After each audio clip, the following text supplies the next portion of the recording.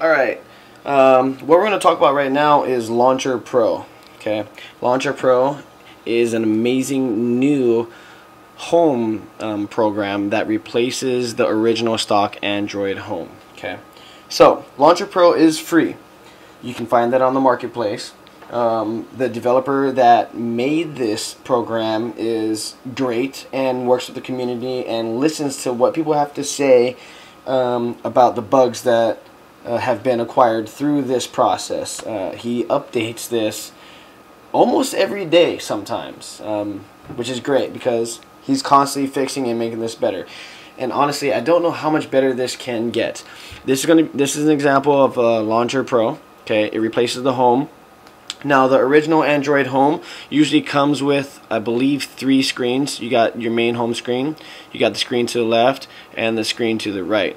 The first thing that you're going to notice about Launcher Pro is how much better it runs than the original stock Android. It runs a lot faster, a lot smoother, has a lot more customizing um, preferences that you can do.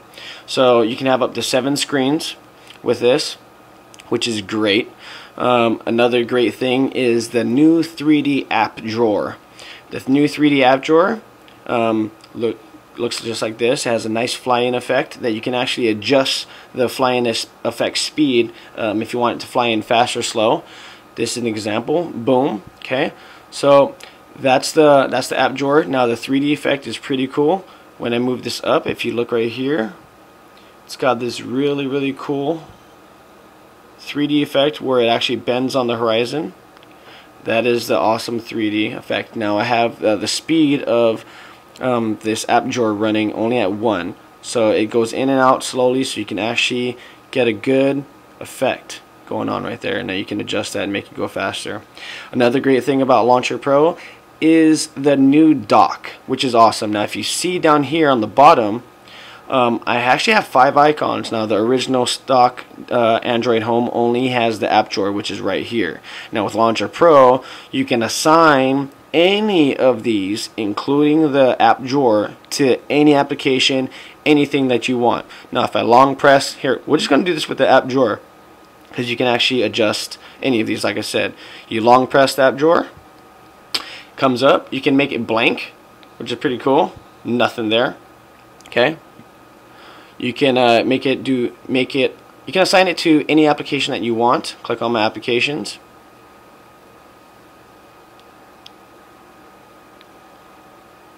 okay that took longer than usual. Um, I have some apps uh, running in the background that oh that uh, are taking up memory right now and honestly auto memory manager should be uh, should be killing those but there are some there are a few things that it that slips through the auto memory manager that I use my advanced task manager to end so that uh, these applications aren't running in the background even though I have hit home and I think that it exited out. But honestly without an advanced task manager running you will never see if those are honestly still running. And they do sometimes. So um, what I'm gonna do is uh, okay gonna go back to applications.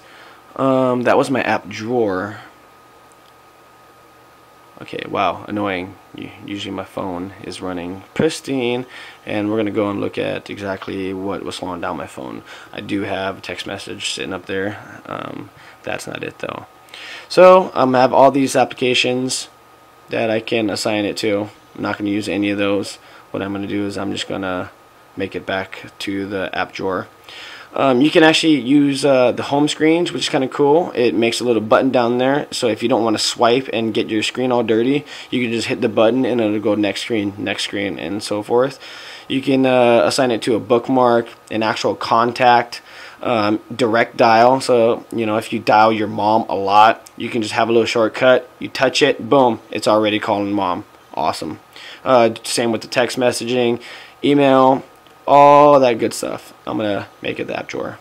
And Launcher Pro actually has some a really really cool collection of icons that um, comes with it. Now they're all grayscale, which make make it look cool, make it look cool. So I'm actually gonna go back. I'm gonna use the actual original one. So have 15 icons that you can scroll through. Um, cool thing, lots and lots of uh, lots of new preferences. You can adjust everything, number of screens. You can have up to seven. I have five. Um, you can change the default screen to whatever screen that you want it to be. I'm going to have mine as the middle one, which would be three. Uh, auto rotation, scrollable widgets, keep in memory. Keep in memory. Let's go down here. Keep in memory is a great way to keep uh, Launcher Pro running so that if you have any memory managers or advanced task managers or anything like that that automatically kill programs that aren't being used often or or taking too much memory or anything like that, it doesn't kill Launcher Pro, keeps Launcher Pro going. And it's totally fine to have Launcher Pro running all the time. That's your actual home. Um, it's not going to eat up memory. And if you have other programs that I'll talk about uh, later on running, your phone will be running awesome. Um, dock background, um, also, it's a good thing you can disable the uh, wallpaper from scrolling when you go from screen to screen. Um, the picture will actually stay there instead of moving with you, which is which is a nice feature. Advanced settings, um, you can actually have five rows. You can actually have five rows in your home screen of icons instead of just four, which is pretty neat.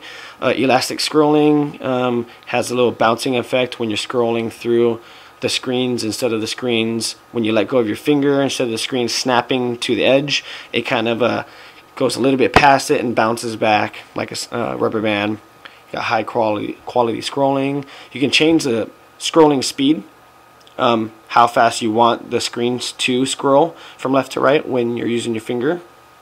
And then also using the um, the home screen button as a as a icon on the dock 3D drawer. Now in the drawer you can change how many rows, columns um, that you have. Um, same with landscape. You can change the opening speed. I have mine at 1 so that it opens slow so you can actually get a really nice effect. And then the screen previews.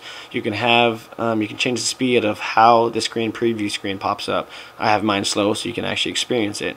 Now let's go take a look at that screen preview. So I have all these screens. One, two, three, four, and 5.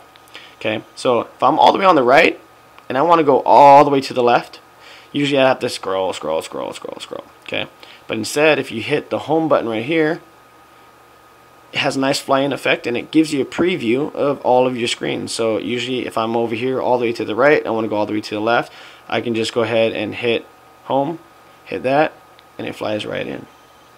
Awesome. So that is Launcher Pro. Um, really, really must a really, really awesome program that every Android user user must have.